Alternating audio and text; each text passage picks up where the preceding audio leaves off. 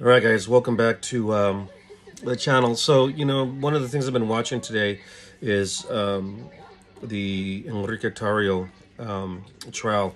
I'm just really anxiously waiting to see what it is, how many years that they give him, right? Because, you know, they I think prosecutors had asked for 33 years, which would by far be uh, the longest sentence, you know. Um, you know, the Rhodes, uh, Oath Keepers founder, 18 years. Biggs, uh, the uh, lieutenant for the Proud Boys, um, 17 years.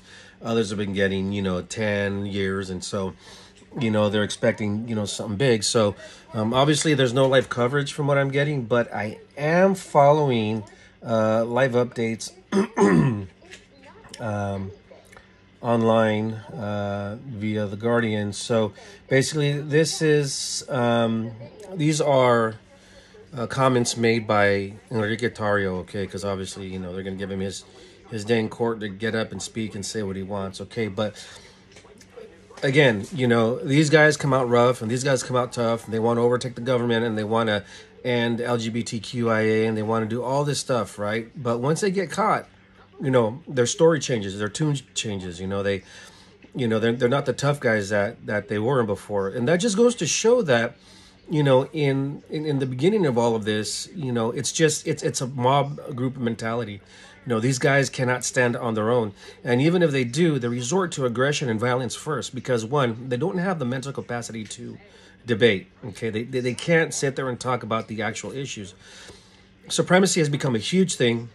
Immigration, obviously, they want every you know anything other than white out of town out of the country, anything other than heterosexual out of town, out of the country. So this is the issue that we're obviously facing is, is that these guys have to form a mob, you know, to push, you know, just like this Nazi, uh, this Nazi movement, all those guys that, um, that, that stood out in front of Disneyland the other day, you know, shame on them, you know, I mean, they're, they're, you know, sorry about that. They're, you know, they're furthering the, you know they're furthering the narrative you know and and that's what they want. But again when they get caught they're not as tough. They're not the tough guys that they think that they are you know. So let's see. So 47 minutes ago in court enrique tarrio speaks out i want to express how sorry i am for the events that occurred january 6th he criticizes those who call police traitors and says he credits officers for their bravery Tarrio says at first he was concerned for the DC uh, jurors would be biased. Tarrio says now that he knows that he was the one that was biased, and he says the people of DC deserve better. What happened January 6th was a national embarrassment. This, this is Tarrio, okay? Tarrio says that on November 3rd something happened he didn't expect. My candidate lost. My candidate lost. Side note, so he admits Trump lost, right? So there again, that goes to his uh, mens rea thought that he already knew. He already knew that he lost. He already knew that Trump lost. So he went along with this uh, conspiracy uh, and insurrection that Trump, you know, uh, started. You know that he, you know, Trump's a smart. That's one thing. You know, he's a street smart dude. He doesn't say things uh, uh, explicitly. He does it implicitly. You know, he implies it. He he says things. He says phrases. He says things a certain way, which will cause, you know, which will cause all this bullshit. Um, let's see what else. Uh, regardless of who is to blame, I blame myself. You know, and then let's see what else. Uh, Kelly, the judge, who was a Trump appointee. Okay, Trump appointee, Judge Kelly. He began his portion by saying that the day broke. Uh, that that day broke our previously unbroken tradition of peacefully transferring power. He says that previously unbroken tradition is now is, is broken now, and it's going to take time and effort to fix it. I do not think what happened that day was acceptable, Tarrio says. His voice is, is, is now husky with emotion. He is sniffing, sniffling uh, occasionally. Uh, he's uh, not quite breaking up, but he's uh, beginning to sound like he's about to choke up. He, uh, as he concludes remarks, Tarrio has appeared to choke up a bit. So too did his Proud Boys co-defendants last week. So here we go. Like I said, you know, these are all tough guys, you know, that have to show aggression and force to prove a point. Again, they don't know how to debate. They don't have the mental capacity to debate. They don't have the education to debate. They don't have what it takes to give a um, constructive and um, objective, objective, uh, even train of thought. They can't. You know, and as I said, it's a group mentality. They have to resort to um, to a pack mob mentality because that's the way they feel that the only way they can get their their word across. Now, if these guys were really as tough and as smart, you know, um, you know, they'd sit down and they they would maybe debate with somebody, you know. Um, in one of the interviews with Biggs, um, was saying that you know have to use force. Force has to be used now to do it. No, again, what I've said before is is that, you know, unfortunately, fortunately, who knows? Whatever is just a matter of evolution. The who was the majority, the European Americans, the whites, the Christian nationalists, are now the minority, and you're going to continue to be the minority. And I'm not saying that in a bad way. It's because you know through evolution, those you know that are of Hispanic, Asian, African American, all that, you know, there's more interracial marriages, which I know is one of the things that you all can't stand, which is one of the things that you're fighting against. But these are the things that you cannot stop. These are the things that you cannot prevent. These this is evolution. This is this is going to happen. This is what's going to be.